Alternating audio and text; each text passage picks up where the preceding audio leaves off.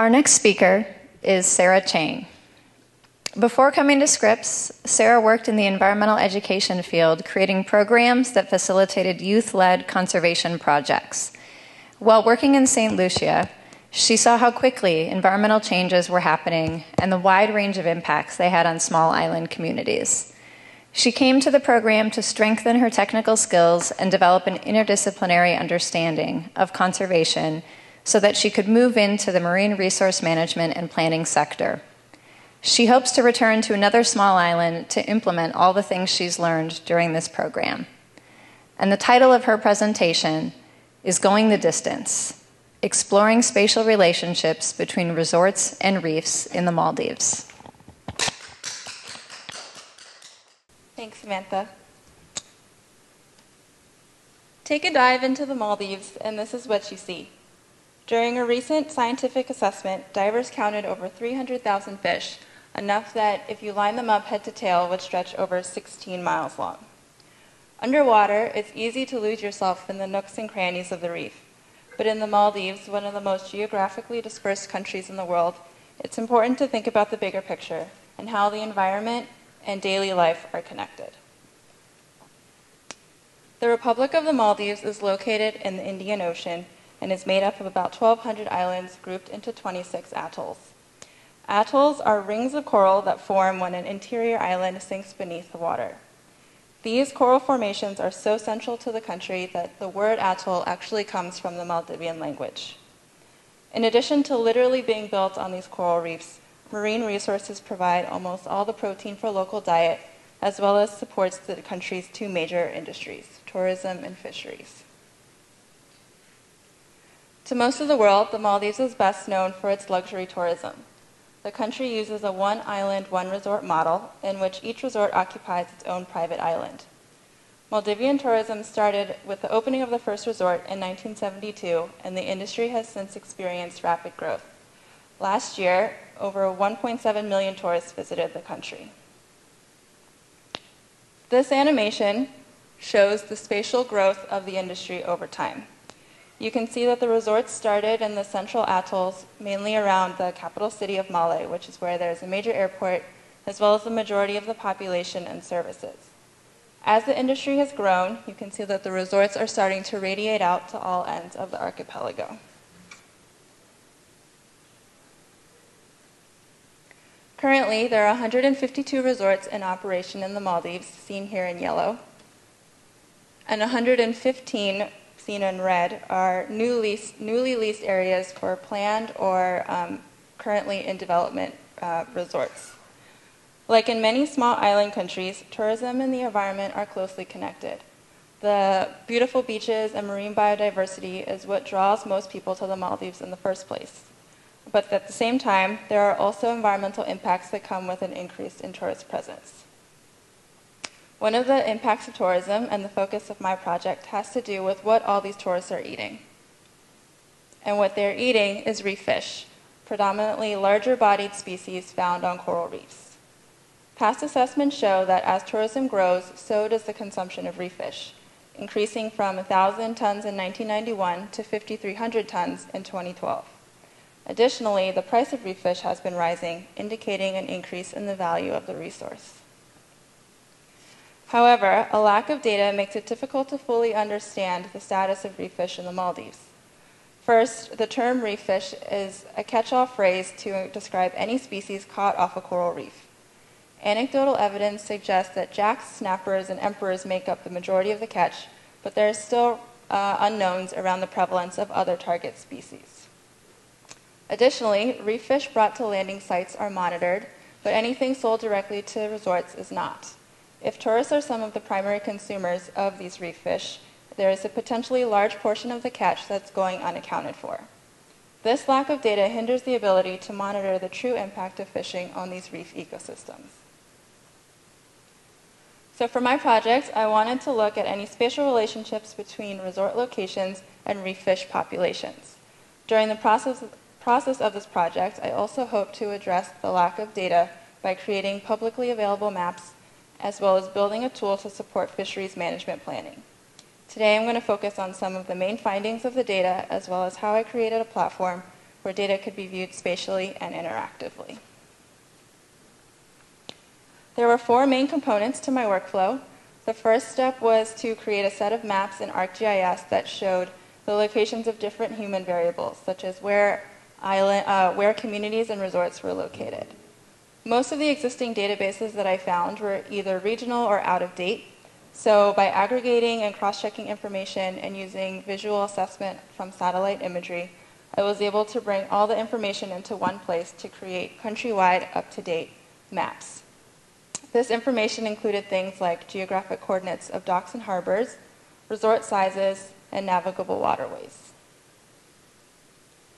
Next, I mapped the location of all 127 survey sites from a recent coral reef assessment led by the Blue Prosperity Coalition, a group of organizations collaborating with the Maldivian government to create marine management plans. In order to identify any relationship between human impact and fish populations, I classified each survey site as either resort, community, or uninhabited. I created five kilometer buffers around each resort and community island to represent the distance a reef fisherman might travel. Any survey site that was within those buffers was given that classification of that respective buffer. So for example, here, any survey site in this blue buffer was classified as a resort, as a resort site. Anything in the pink was a community site, and then anything that was outside of a buffer was classified as uninhabited. During the Blue Prosperity expedition trip, divers conducted underwater visual fish surveys to, um, to see which species were found at each site. This included identifying fish to the nearest species as well as estimating their total length. This information was used to calculate biomass, or the collective weight of all the fish. Finally, all the data was put into an interactive web application that integrates GIS maps with the fish biomass data. So what did we learn from all this information? When we looked at the fish biomass by site, we found no statistically significant difference between the site types. This graph shows the biomass per site, with purple representing community islands blue as resort islands, and green as uninhabited islands. The top portion is showing biomass of all species, um, while the bottom portion shows the biomass of target or consumable species, which we classified as individuals larger than 20 centimeters and those that could be caught using a hook and line, which is the most common form of reef fishing in the Maldives. While there is variability, the average biomass across all sites was about 290 grams per meter squared. To put that into context, here is a graph showing the Maldives fish biomass in comparison to other islands. The colors, represent the, the colors represent the biomass of species in each level of the food chain, also known as trophic levels. You can see that the Maldives have a relatively high level of biomass, but what is most striking is that the, the structure of the trophic levels is very different. In the Maldives, you can see there's a large portion of herbivore, herbivores, as represented by the green section, and almost no apex predators represented with red. This is even more evident when you look at the biomass breakdown by site.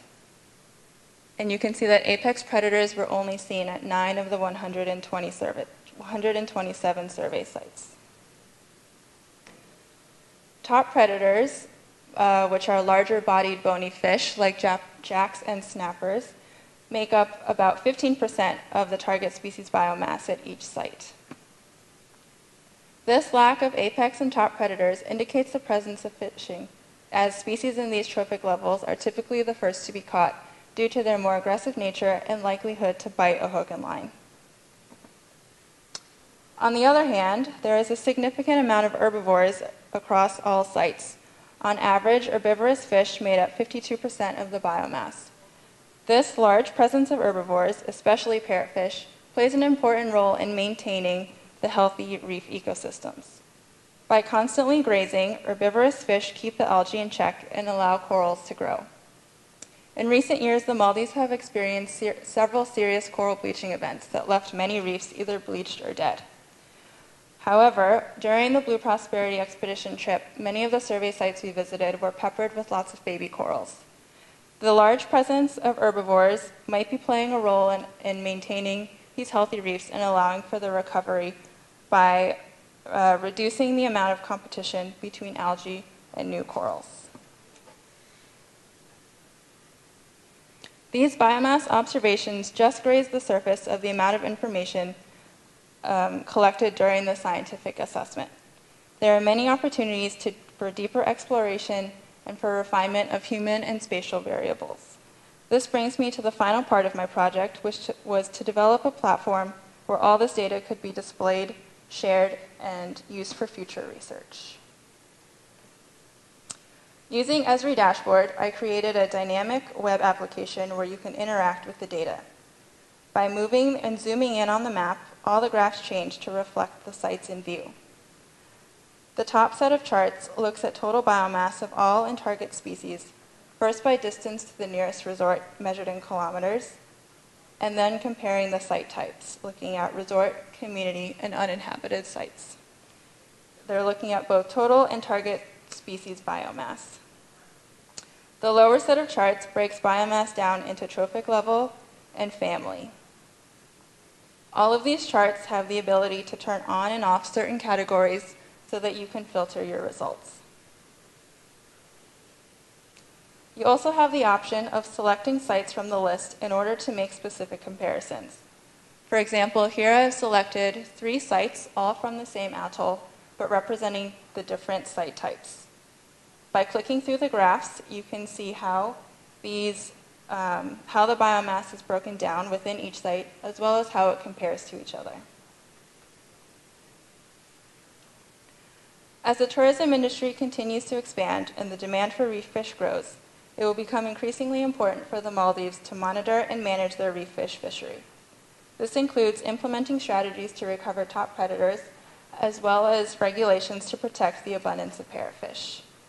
By developing a sustainably managed fishery now, they have the opportunity to be proactive rather than reactive when it comes to maintaining healthy ecosystems.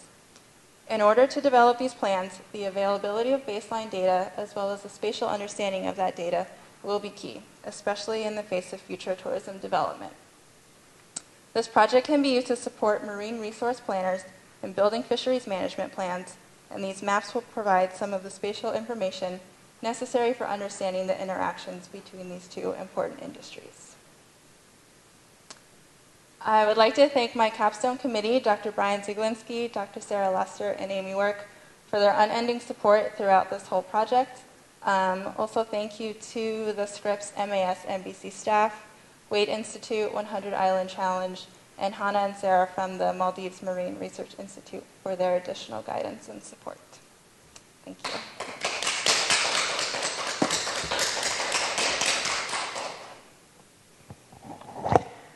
Thank you, Sarah. All right, so we have a question from the web. How often would you recommend a refresh of data collection, especially considering the expected doubling in number of resorts in the Maldives? Thanks for that question. Um, I don't think there's ever anything wrong with getting as much data as possible.